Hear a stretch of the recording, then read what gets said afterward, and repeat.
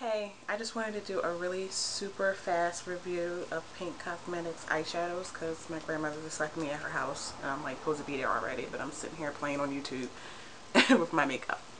Um, they had a one cent sample sale a few weeks ago. So I got four eyeshadows, Combat,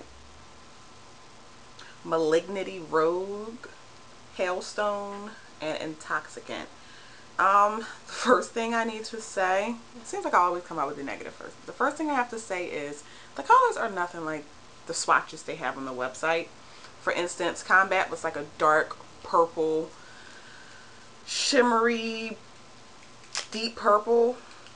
And in real life, it's actually more like a black with purple shimmer.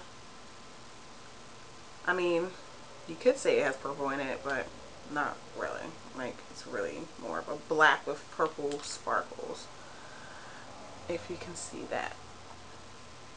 Um, I did do a review on my blog uh, when I first got it.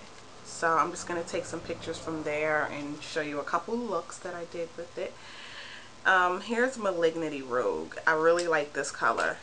They're mineral eyeshadows. They're very, very pigmented. They also sell a base that I got a sample of, and the base works really good for making it stick and helping prevent the fallout and all that good stuff.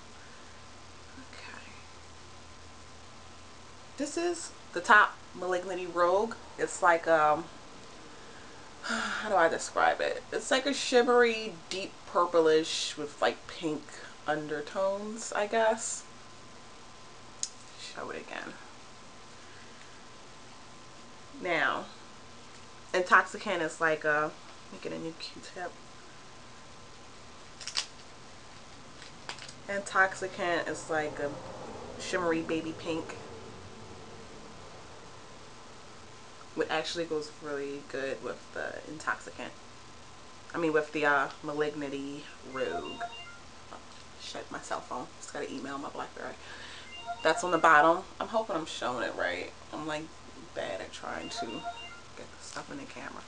And then it's Hailstone, which is it looked like a like a silver, like a uh, really metallic silver on a swatch. But when I got it, it's more like a gray.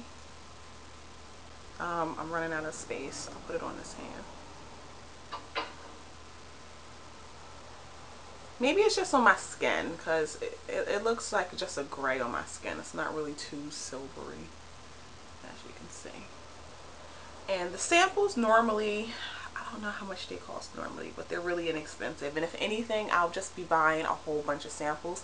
I think the full size ones are 750 and every full size um, order eyeshadow you get, you do get a free sample with it that you can choose. So that's a big plus.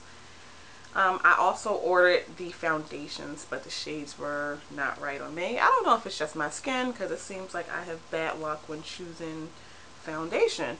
Wait a minute, where is it? I just had the envelope.